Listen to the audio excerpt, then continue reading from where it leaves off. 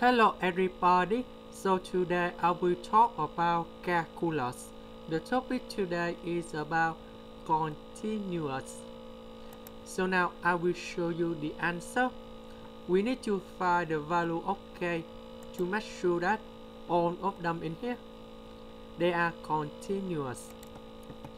The first one, we know that if we put k in here and k in here, you will go about 3k plus 2 and 2k minus 3 because we want to find the value of k to make sure that the function is continuous. So at location of k on the left and on the right they should be equal.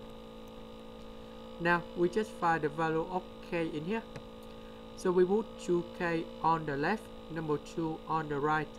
And you got about k equals to negative number 3,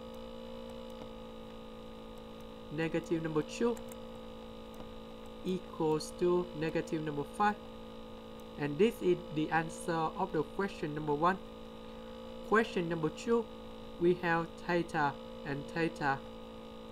So we know that we have b over 2 in here and b over 2 in here. So this means on the left and on the right there should be equals. When s approach to b over 2 so we move about sine b over 2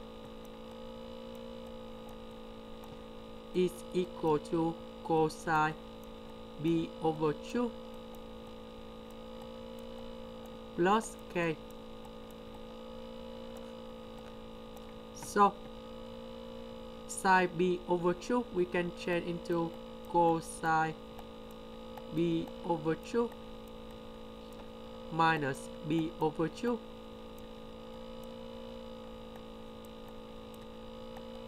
is equal to cosine b over 2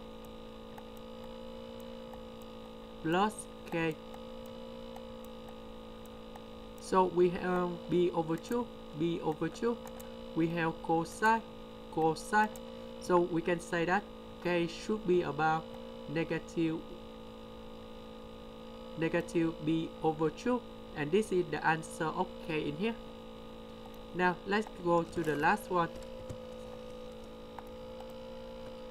So in this situation we need to simplify this fraction in here. On numerator we can do about factorization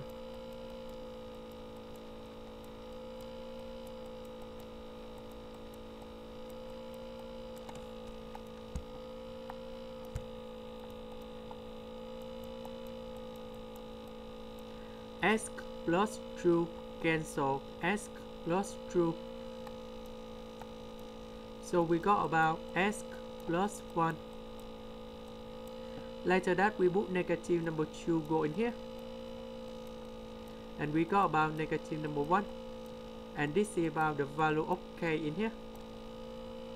This is the end. Thank you for watching